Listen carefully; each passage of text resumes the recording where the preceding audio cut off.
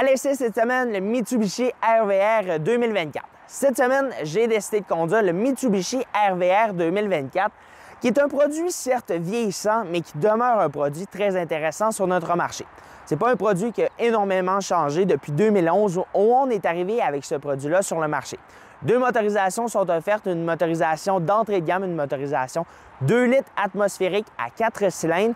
Et lorsqu'on parle d'une version 2,4 euh, litres 4 cylindres, mais là, dans ce cas-ci, on monte à 165 chevaux, ce qui vous offrira quand même un petit peu plus de performance. Bien entendu, ce n'est pas le point culminant euh, du Mitsubishi RVR. On arrive avec un véhicule qui est plutôt très fonctionnel dans son approche, plus que performant. Lorsque l'on parle de la présentation extérieure du Mitsubishi RVR, on arrive ici en 2024 avec une nouvelle version qui s'offre à nous, une version noire, ce qui vient retirer presque l'entièreté du chrome sur ce véhicule-là. Mais cette semaine, j'ai décidé de conduire la version qui est au sommet de la gamme avec une version GT, donc ce qui veut dire une version tout équipée où on vient ajouter énormément euh, d'éléments cosmétiques en chrome. Maintenant, lorsqu'on parle de la présentation à l'avant, on arrive avec quelques petits éléments qui ont changé depuis euh, son arrivée sur notre marché, notamment au terme de sa calandre, on a de l'aluminium brossé, des éléments de couleur noire aussi, du chrome, et euh, lorsqu'on parle de la signature lumineuse aussi, on a une petite euh, ligne LED qui se situe au bas du phare avant. Les phares anti-brouillard aussi sont présents avec quatre points que je trouve assez beaux encore une fois. Et dans le cas de la version que je conduis qui est équipée du gris euh, titane, je trouve que ça lui donne quand même une belle gueule et ça vient agencer plusieurs éléments que l'on retrouve sur ce design-là. Maintenant, si l'on se déplace sur le côté, jantes de 18 pouces qui sont offertes à partir d'une version SE. Donc, lorsqu'on parle d'une version SE, SEL noir et GT, mais là, dans ce cas-ci, ce sera jantes de 18 pouces et une version ES à traction intégrale ou traction avant. On aura des jantes de 16 pouces, donc euh, dépendant euh, du groupe d'options que vous allez choisir. On aura d'autres types de jantes et même euh, des roues d'acier pour une version d'entrée de gamme. Maintenant, encore une fois, sur le côté, on retrouve qu'il y a très peu d'éléments de chrome sur ce véhicule-là, ce que j'apprécie personnellement contours de fenestration qui sont en noir euh, mat. Et au bas aussi, les bas de caisse, on retrouve les euh, contours d'ailes et les bas de caisse en plastique noir mat, ce qui donne un aspect un petit peu plus baroudeur à ce véhicule-là. Comme je vous ai mentionné à l'avant, on retrouve deux motorisations de disponibles qui sont jumelées avec la boîte CVT le 4 cylindres 2 litres atmosphérique qui développe 148 chevaux et la motorisation la plus puissante de la gamme, un 4 cylindres 2,4 litres atmosphérique que l'on retrouve notamment dans le RVR, le Eclipse Cross et on retrouve aussi dans le Outlander PHEV qui développe 168 chevaux. Donc bien entendu, on retrouve toute la puissance dont on a besoin, rien d'excédent par exemple, mais on a quand même une puissance qui est très bien, un couple aussi qui est euh, bien jumelé et qui est bien livré aussi malgré que l'on retrouve une boîte CVT sous le capot. Maintenant, on a fait le tour de l'avant et la motorisation. On se retrouve en arrière. Maintenant, lorsqu'on parle de la face arrière du Mitsubishi RVR, on retrouve tout de suite les feux arrière qui sont assez distinctifs quand même dans sa présentation. J'aime beaucoup le style quand même du RVR. On a un style qui est assez rond sur ce véhicule-là, avec plusieurs éléments qui lui donnent un style à la fois aventurier, mais assez haut de gamme. On joue comme entre deux gammes. Bien entendu, ce n'est pas le point premier que l'on veut obtenir et offrir du côté du Mitsubishi RVR, mais on offre quand même quelque chose qui est assez attrayant dans sa présentation extérieure on retrouve l'inscription RVR et l'inscription aussi AWC, donc le All-Wheel Control, donc euh, le système euh, de traction intégrale du côté de chez Mitsubishi. Et à vrai dire, c'est un système qui est très intéressant que l'on peut choisir en traction avant, en traction intégrale et même en euh, All-Wheel Drive Lock, donc ce qui nous permettra de pouvoir barrer les quatre roues pour obtenir la meilleure traction possible. Maintenant, bien entendu, un petit peu plus bas, on retrouve encore une fois le petit style baroudeur que l'on a voulu offrir à ce véhicule-là, comme par exemple euh, le euh, bas de ici en plastique noir avec quelques éléments qui donnent l'impression d'avoir euh, du fibre de carbone. Ça look quand même très bien, j'aime beaucoup le style. On retrouve aucun élément de chrome encore une fois sur ce véhicule-là. Le petit béquet aussi à l'arrière qui est assez beau. Maintenant, lorsqu'on parle de capacité cargo, on offre quand même quelque chose d'assez intéressant en termes euh, d'espace euh, cargo.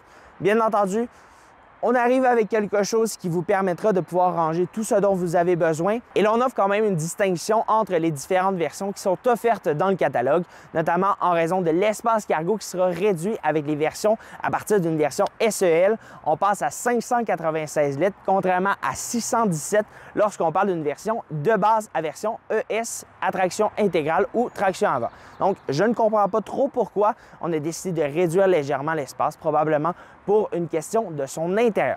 Maintenant, bien, globalement, le Mitsubishi RVR vous en offre quand même beaucoup au terme de ses technologies à son bord. Euh, bien entendu, on est allé dans la simplicité sur ce véhicule-là, mais ça vous en offre quand même beaucoup sur le marché, considérant quand même les prix actuels, où on a un prix d'entrée sur ce véhicule-là sous la barre des 25 000 ce qui est très rare actuellement dans cette catégorie-là. Donc, on passe à l'intérieur.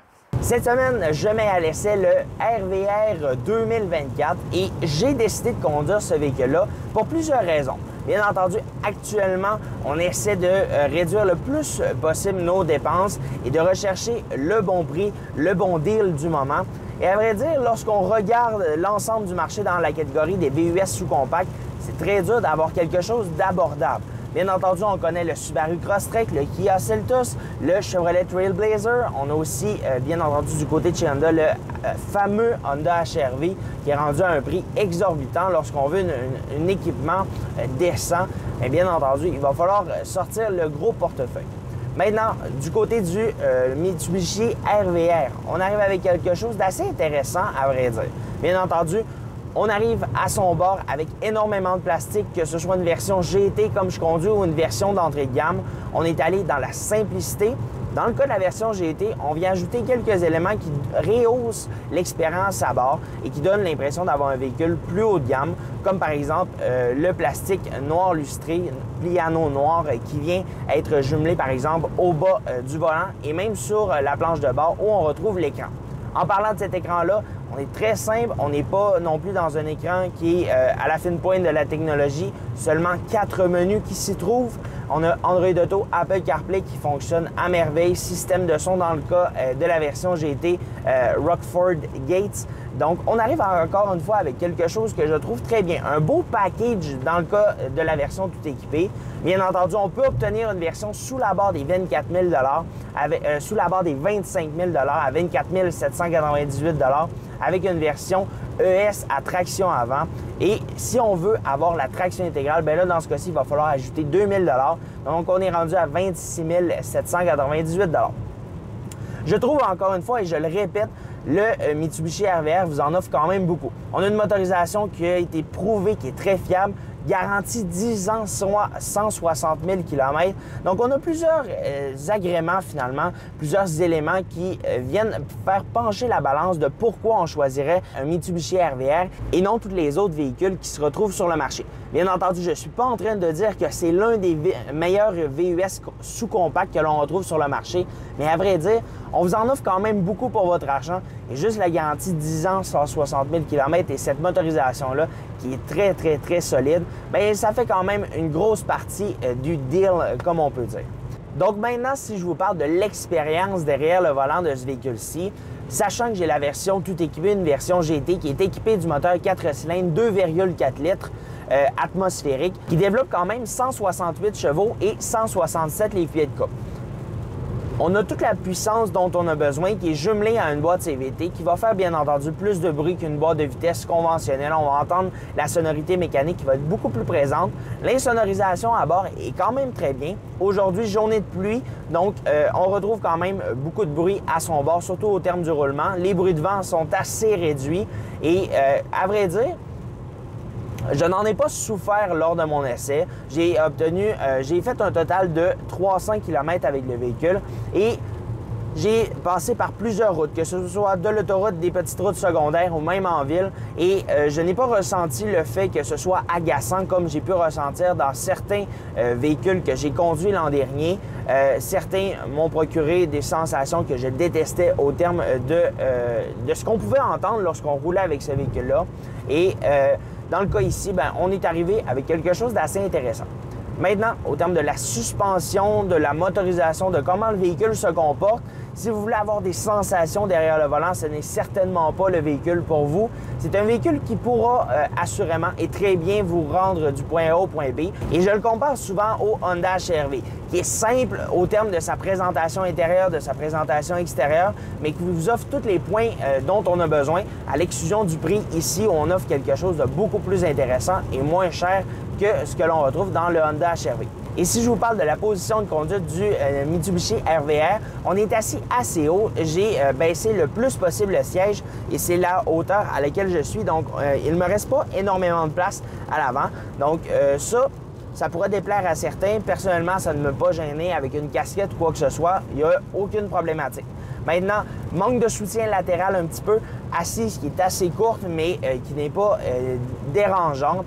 On a aussi une bosse au niveau du dos qui ne peut pas être retirée. Il n'y a aucune molette, il n'y a aucun bouton qui nous permet de la retirer. Donc, à un certain moment, ça pourra vous offrir un certain inconfort selon la position de conduite que vous allez être assis. Si vous êtes euh, tout euh, assis dans le siège, je vous dis tout de suite, euh, vous allez être inconfortable, mais en position très confortable, vous allez être bien. Maintenant, Lorsqu'on parle de consommation d'essence avec ce véhicule-là, je le mentionne, j'ai fait 300 km avec le véhicule et j'ai obtenu une, moyenne euh, de consommation d'essence à 9,1 litres, ce que je considère très bon, sachant que j'ai fait majoritairement de la ville des petites routes. Donc, euh, l'autoroute, j'en ai fait un petit peu, mais euh, que très peu. Et à vrai dire, je suis énormément surpris de la consommation d'essence. Bien entendu, on peut obtenir une consommation qui va être un petit peu plus basse que ce que l'on retrouve ici. Et même du des du manufacturier, on euh, mentionne aussi une consommation qui va être combinée à 9,4 litres. Donc, encore une fois, je trouve que la consommation que j'ai obtenue est assez raisonnable et euh, qui est très vraie. Maintenant, il me reste quand même un élément à vous parler, c'est la disponibilité de ce produit-là. Est-ce qu'il y a toujours sa place sur notre marché? J'ai pas le choix de dire que oui, il y a toujours sa place sur notre marché. Et est-ce que c'est disponible? C'est disponible actuellement dans les cours des concessionnaires. Ça demeure un produit qui est très archaïque dans sa présentation extérieure, dans sa présentation intérieure, mais qui fait un excellent boulot. Et si vous n'êtes pas à la recherche d'un produit qui est à la fine pointe de la technologie, mais qui est simple, qui arrive avec tous les éléments dont on a besoin, ça demeure l'un des produits qui est le plus convaincant actuellement sur le marché. De mon sens, bien entendu, lorsqu'on le compare au terme du prix, bien, bien sûr, il faut quand même mettre euh, la portion prix parce que lorsqu'on arrive avec une version tout équipée, bien là, encore une fois, on arrive avec quelque chose d'assez intéressant. Et il me reste quand même un élément à vous parler, c'est la charte de prix. Une version de base à traction avant débute à 24 798 une version tout équipée, bien là, dans ce cas-ci, on est à 35 798 Donc, bien sûr, il y aura quand même une certaine distinction entre les différentes versions. Vous allez pouvoir obtenir un intérieur de cuir comme ici, je retrouve le toit qui est vitré uniquement, donc pas de toit ouvrant qui est disponible pour euh, le euh, Mitsubishi RVR, mais on a tout ce dont on a besoin encore une fois. Et la charte de prix, bien 24 798 à 35 798 Et la version qui est euh, l'une des versions les plus vendues, d'une version SE. Mais là, dans ce cas-ci, on est à 28 798 Donc, encore une fois, je suis très content d'avoir décidé de conduire ce véhicule-là cette semaine. C'est l'un des véhicules qui est parfois le plus boudé de ce que l'on trouve dans la catégorie, mais qui demeure un produit que je trouve pertinent de nos jours et qui demeure encore une fois un produit qui a sa place sur notre marché. Bien entendu, un petit peu d'amélioration au niveau de sa technologie intérieure ne serait pas trop, mais euh, pour vrai, je suis très surpris. Maintenant, un énorme merci à Jean Dumas Stagné Mitsubishi de m'avoir prêté le véhicule pour le week-end. J'ai pu obtenir quand même une consommation d'essence qui est très décente et un kilométrage 300 km. J'ai pu visiter quelques petites parcelles euh, du euh, Saguenay-Lac-Saint-Jean. Je vous invite quand même à aller faire un tour sur tous nos médias sociaux, Facebook, YouTube, Instagram et TikTok. Et faites un tour aussi sur onroulolac.com dans lequel vous retrouvez quelques photos et l'article de ce véhicule-ci. Sur ce, bonne semaine. 拜拜。